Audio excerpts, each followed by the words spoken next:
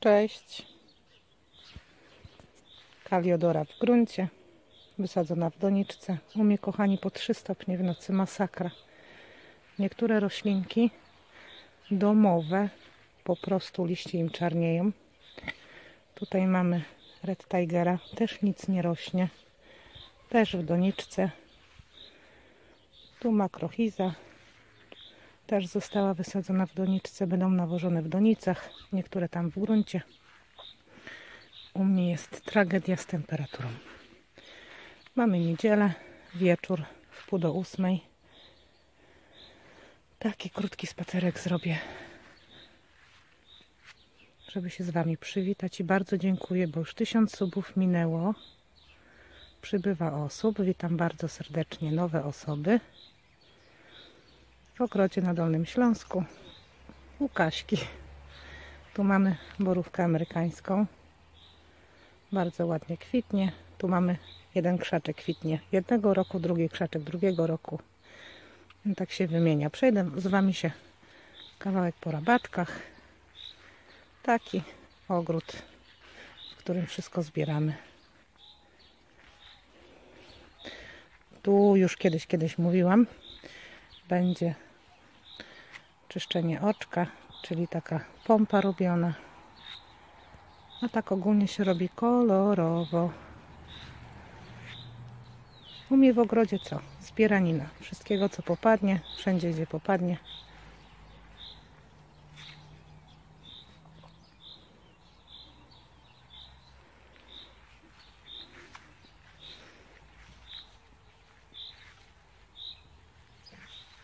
Teraz jest fajna pora, ponieważ słońce nie świeci, chociaż dzisiaj była burza, deszcz, słońce, burza, deszcz, słońce, a teraz taka fajna pogoda, ponieważ kolory oddają kwiaty takie oryginalne.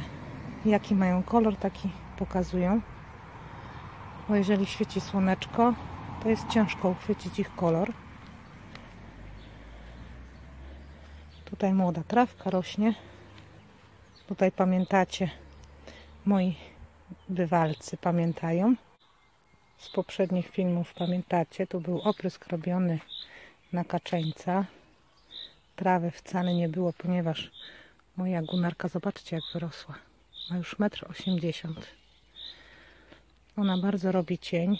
Kaczeniec zabierał wodę i miejsce i trawy nie było, także tutaj żeśmy wysiali nową trawkę.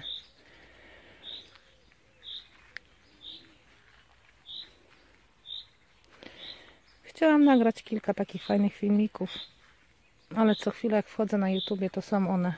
Na przykład jak mszycy się pozbyć. E, jutro może nagram jak, e, jak dbać o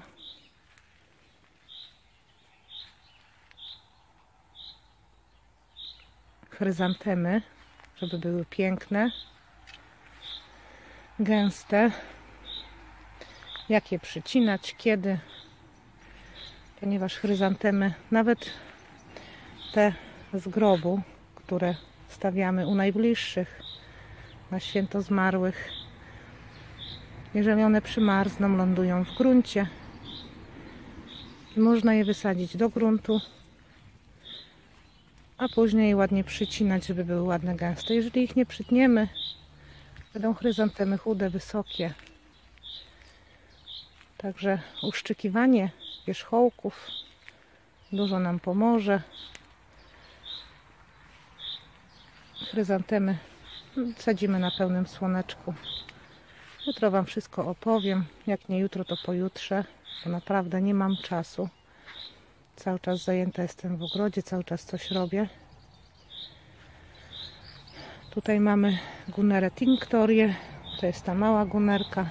Dosypany był obornik gołębi, ponieważ tutaj mam bardzo słabą ziemię. Tu są kamienie. Kiedyś tutaj o, w tym miejscu szła rzeka. Ta rzeka została przeniesiona za mój dom i tutaj pozostałości po tej rzece, jakieś gruzy, piaski. Tu jest tak sucho, a po drugie jesiony i klony wyciągają wszystko. Także tutaj hydrożel żeśmy dali. Hydrożel dajemy tam, gdzie jest sucho. Naprawdę pomaga. Zrobiłam sobie taką rabatkę, na przykład tutaj mam liliowce i hydrożel dużo nam pomaga. Tylko, że wiecie co, nie sądziłam, że on aż tak puchnie. Dałam, jak tam mamy liliowca, dałam z jednej i z drugiej strony hydrożel. To jak deszcz popada, to były takie górki. Tak popuch. Teraz już wiem, że daje się go bardzo mało. No, a tak ogólnie zobaczcie, jaki taki mały spacerek. Słońce zachodzi. Szpak ładnie śpiewa na górze.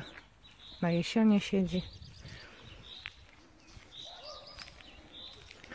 Tu zaczyna nam kwitnąć laurowieśnia. Wytrzymała ładnie mrozy minus 21.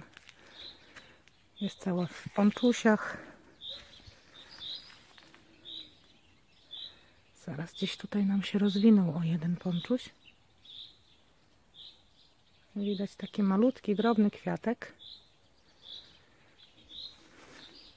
Teraz czekamy na lilie. Tulipany już przekwitają. Teraz czekamy na lilie, liliowce, irysy. Oj, dużo kwiatów się zaczyna szykować, ale jak mówię, jest po 3 stopnie w nocy. Także jest bardzo zimno. Uwielbiam tą właśnie porę, tak w pół do ósmej. Ósma, jak tak słońce zaczyna zachodzić. Tam mam zachód. I tak kwiaty się fajnie błyszczą. Dobra, mały spacerek na przywitanie i podziękowanie Wam, kochani. Cieszę się, że piszecie, lajkujecie. To jest taki przydomowy ogródek.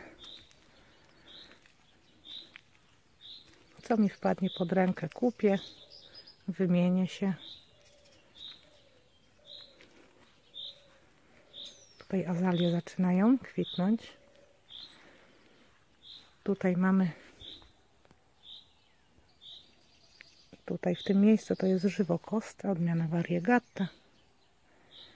Dalej czekam, aż mnie budleja odbije, ale raczej nic niej nie będzie. Na jednym krzaczku tylko widzę, na jednym pędzie widzę puszcza wyżej.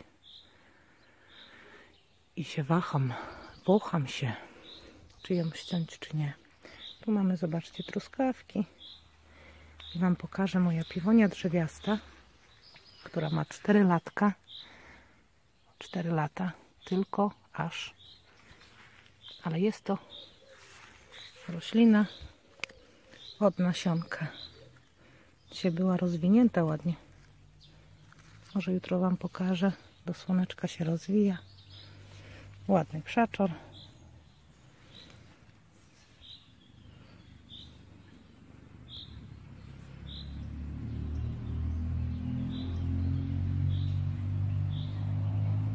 Także miłego dnia Wam życzę.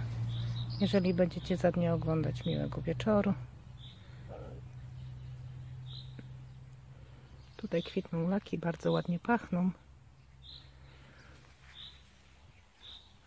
Tutaj zobaczcie, jak się miecznica szerokolistna o kwiatach żółtych rozsiała.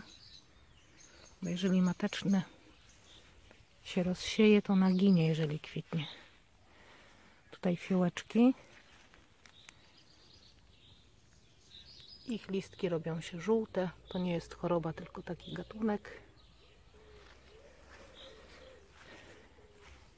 Ładny szafirek.